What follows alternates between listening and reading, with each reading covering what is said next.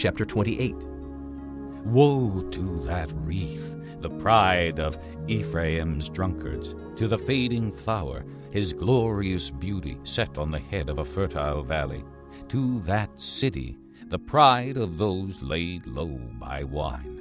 See, the Lord has one who is powerful and strong. Like a hailstorm and a destructive wind, like a driving rain and a flooding downpour, he will show it forcefully to the ground.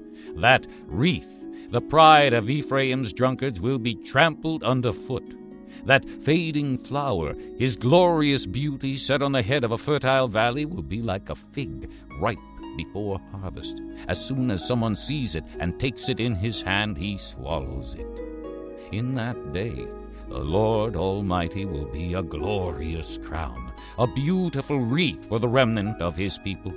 He will be a spirit of justice to him who sits in judgment, a source of strength to those who turn back the battle at the gate. And these also stagger from wine and reel from beer.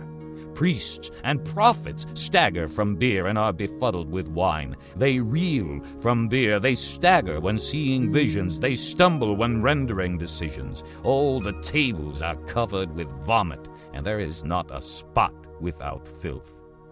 Who is it he is trying to teach? To whom is he explaining his message?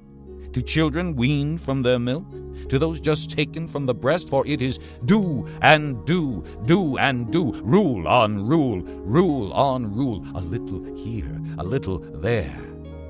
Very well then. With foreign lips and strange tongues, God will speak to this people, to whom he said, This is the resting place, let the weary rest. And this is the place of repose. But they would not listen.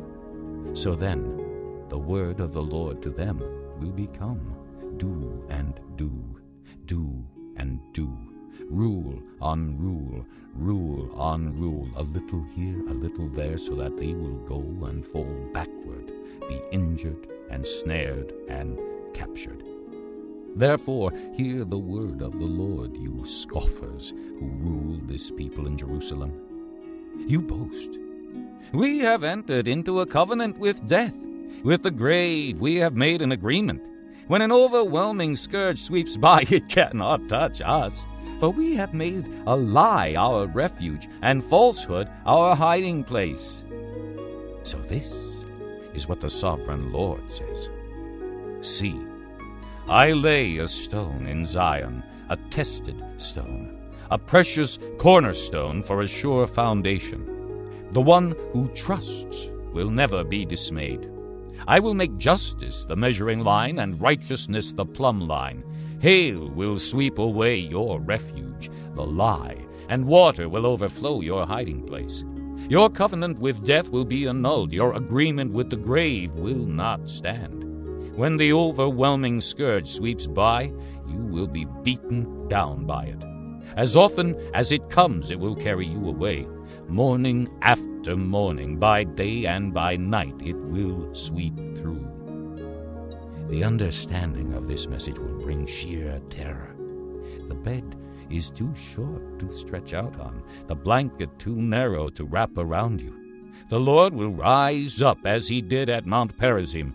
He will rouse himself as in the valley of Gibeon to do his work his strange work and perform his task, his alien task. Now stop your mocking, or your chains will become heavier.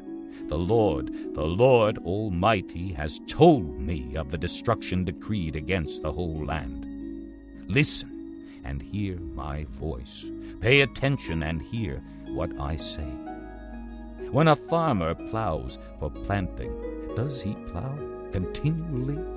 Does he keep on breaking up and harrowing the soil? When he has leveled the surface, does he not sow caraway and scatter cumin? Does he not plant wheat in its place, barley in its plot, and spelt in its field? His God instructs him and teaches him the right way.